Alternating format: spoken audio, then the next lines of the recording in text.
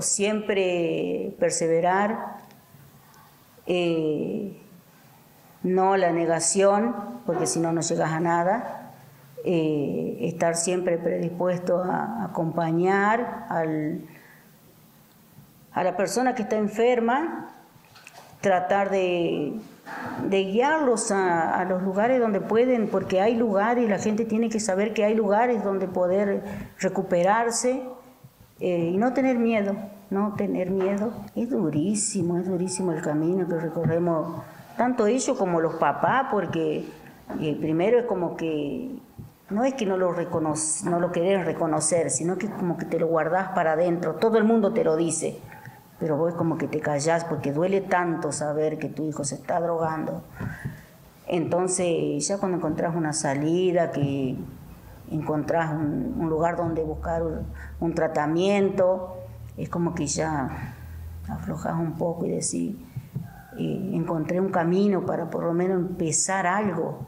Todos entramos por curiosidad, no hay una causa establecida. Eh, la causa se va notando más adelante siempre pero por curiosidad. El primer paso es reconocerse como persona enferma para poder salir de, todo esto. Y el mensaje sería ese, ¿no? Eh, tratarse con amor y saber que sí se puede salir. Que no es fácil, pero sí se puede. Yo mucho tiempo pedí ayuda inconscientemente, creo que siempre lo hice notar. Eh, los últimos años siempre lo hice muy evidente y esa fue mi forma de pedir ayuda. No fue directamente hacia mi mamá. La que me ofreció ayuda fue ella eh, cuando yo me interné, pero inconscientemente siempre haciéndolo ver. Lo veía toda mi familia. Yo en un momento lo escondí los últimos años y esa fue la forma de, pedir ayuda. ¿Qué, llegaste a consumir, por ejemplo? Eh, de todo.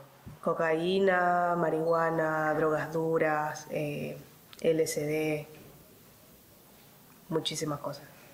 Quiero resaltar en ese periodo de ayuda inconsciente, que tal vez hay familias que eh, se puedan dar cuenta en este momento también, que están pasando por esta problemática. ¿Cuál era ese periodo de ayuda inconsciente? Y por ejemplo, yo creo que el mío era no llegar a mi casa. Yo no llegaba nunca a mi casa. No estaba nunca en mi casa. Podía pasar dos o tres días que capaz que no volvía a mi casa. Eh, dejaba eh, restos de droga en mi casa siempre.